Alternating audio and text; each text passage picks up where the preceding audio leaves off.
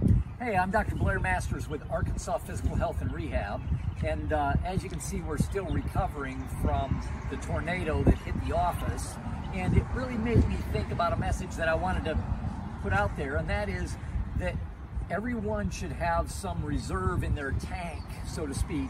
Um, you know, so many people just push themselves so hard. They have kids they're dealing with and their job and they, they've got so many activities in church and, and that sort of thing that their their life is literally stretched to the limit. So if something else happens they don't have enough in their reserves to take care of it. They don't have enough to be able to deal with it. And something always happens. You know there's there's uh, oh I got in a car accident so now I got to go deal with that.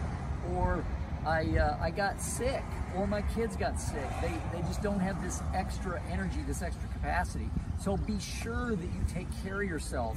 Be sure that you go on vacations. I, I tell patients all the time, hey, oh, do you have a vacation schedule this year? Take one. You know, be sure that you're taking your vitamins. Be sure that you're exercising. Be sure that you're taking time to relax and, and take care of yourself. So when you do have stuff that comes up, and it always will, extra energy in your tank to not just bounce back, but bounce forward as well.